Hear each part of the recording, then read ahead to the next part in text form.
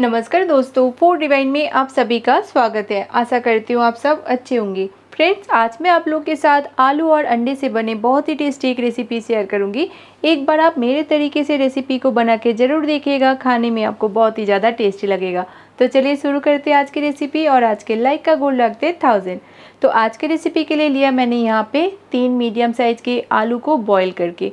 तो आलू को मैंने छः से सात मिनट के लिए बॉईल कर लिया है और आलू को इस तरीके से हम थोड़ा सा बड़े बड़े टुकड़ों में काट लेंगे। लिया मैंने यहाँ पे पाँच उबले हुए अंडे। तो चलिए शुरू करते सबसे पहले पैन में हम ले लेंगे तेल। तेल जैसे ही हमारा गर्म हो जाए, डालेंगे दो से तीन पिंच हल्दी और वन फोर चम्मच डालेंगे हम Kashmiri red chilli powder.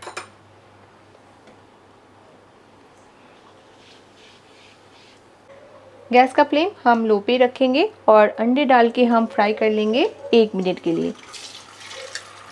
हल्का अंडे का कलर बस हमें चेंज करना है।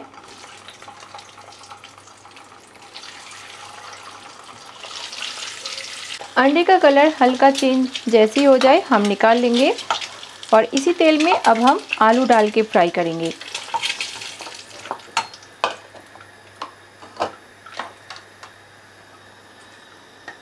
चार से पाँच मिनट के लिए आलू को फ्राई कर लेंगे। कलर चेंज हो जाने तक। और आलू हमारा 50 परसेंट पहले से सॉफ्ट है।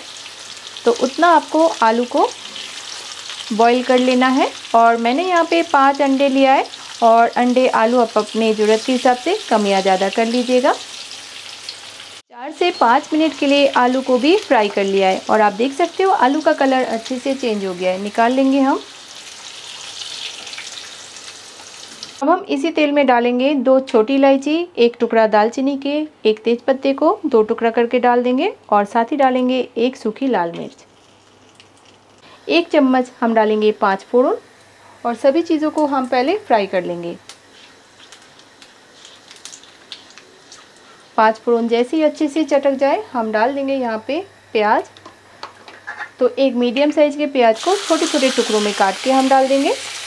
और प्याज के कलर चेंज हो जाने तक हम फ्राई कर लेंगे। अगर आपके पास पाँच फोड़न ना हो, तब आप यहाँ पे जीरा डाल सकते हो।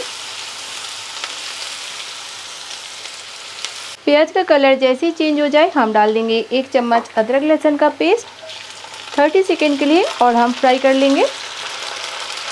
अदरक लहसुन जैसे ही हमारा अच्छे से भून जाए, हम डालेंगे एक मीडियम साइज़ के टमाटर को छोटे छोटे टुकड़ों में काट के।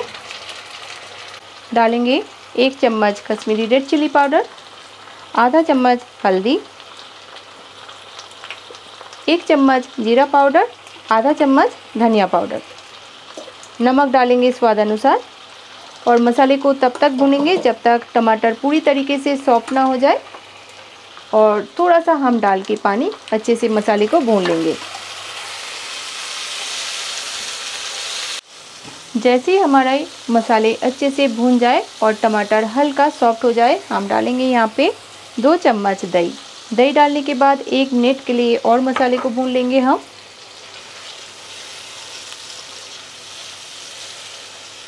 आधा चम्मच गरम मसाला डाल देंगे, साथ ही डालेंगे एक चम्मच कचरी मेथी।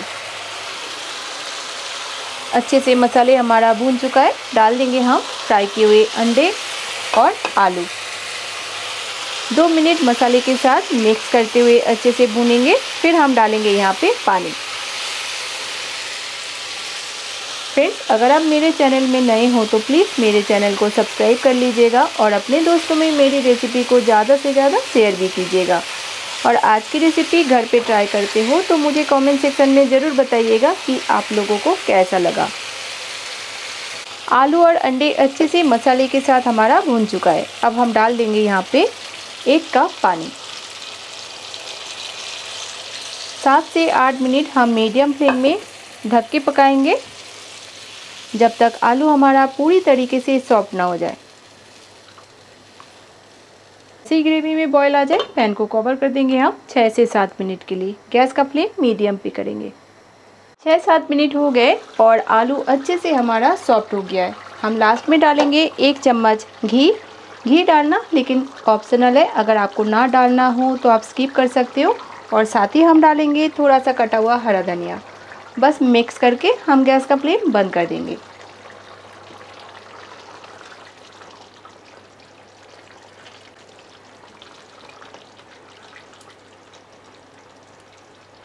तो गैस का फ्लेम हम बंद कर देंगे। हमारे तैयार है बहुत ही टेस्टी आलू अंडे के झोल। ये देख के जितना ज़्यादा आपको टेस्टी लग रहा है, खाने में भी बहुत ही ज़्यादा आपको टेस्टी लगेगा।